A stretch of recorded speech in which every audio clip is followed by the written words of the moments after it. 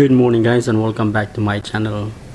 So, ang topic po natin ngayong araw na ito ay pag-uusapan po natin kung paano po kayo makapag-apply ng trabaho dito sa Saudi Arabia. So, unang-una sa lahat, uh, kung magtatrabaho po kayo at mag-apply kayo ng trabaho dito sa Saudi Arabia, dapat kayo po ay qualified. So, ang ibig kong sabihin na kayo ay qualified, so usually, yung work experience ay kailangan po yan para kayo ay makapag-apply dito sa Saudi Arabia. So, kadalasang mga kumpanya dito sa Saudi Arabia ay nangangailangan ng at least 2 years work experience. So, kung meron kang 2 years work experience, let's say for example, yung a-applyan mo is uh, waiter, at meron ka ng 2 years work experience sa Pilipinas, so ikaw ay qualified to apply for a job here in Saudi Arabia.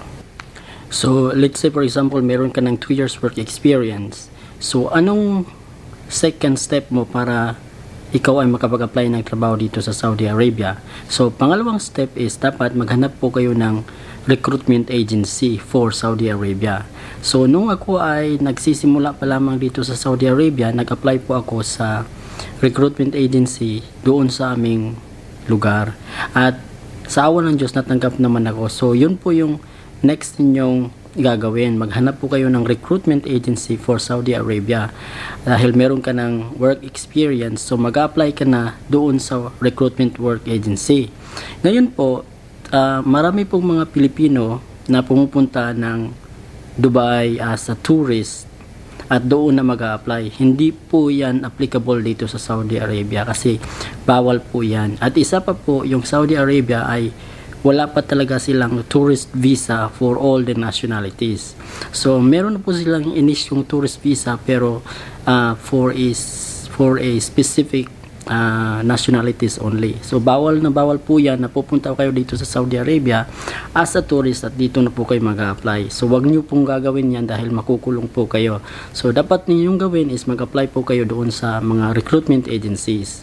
At doon sa recruitment agencies, doon po kayo sasalain at doon nyo po malalaman kung kayo ay matatanggap o hindi.